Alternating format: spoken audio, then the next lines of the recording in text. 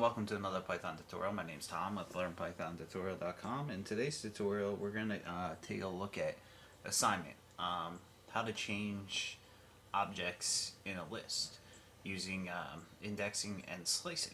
So let's take a look at this. First off, we're going to create a list, and we're going to do A is equal to, and square brackets, and then 1, 2, and 3. Hit return, call our list, there's our list, 1, 2, and 3. Now, we're going to do um, slicing or indexing um, to change values in this list. So the first one we're going to do is A, square bracket, and we want to change, um, uh, let's see, uh, the 1. We want to change that to 0. So we'll do 0, square bracket is equal to 0. Hit return, call A, now we got 0, 2, 3.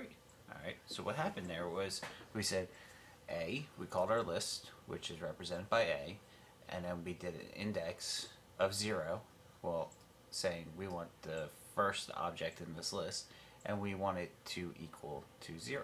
So we're reassigning that value. And what we did was we made this 0. Alright, we can also do uh, slicing. Let's say we want to change 0 and 2 to um, different numbers.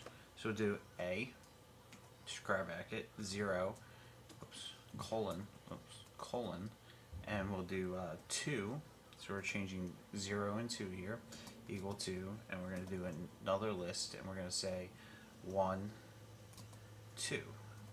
Square brackets hit return, call A, now we got 1, 2, 3. So what happened there? Alright, so we went in and we said, hey, we're going to slice from 0 to 2, and the reason I cho chose 2 is because we want to include this, um, this number 2 here. So we have to go one more number. So this is 0, 1, 2. Alright, so we're actually going to the 3, but we're only slicing here to here. And then we're saying, hey, we want these two index positions to equal 1 and 2. So we insert that in and we call it A and or we reassign it, we don't insert it in. We got 1, 2.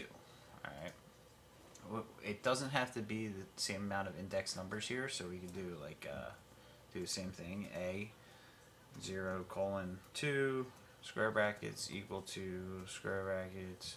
We can do 0 1 2 square brackets, hit return, call A, now we got 0, 1, 2, 3. Alright. So now this is 0, this is 1, this is 2, and 3 index positions.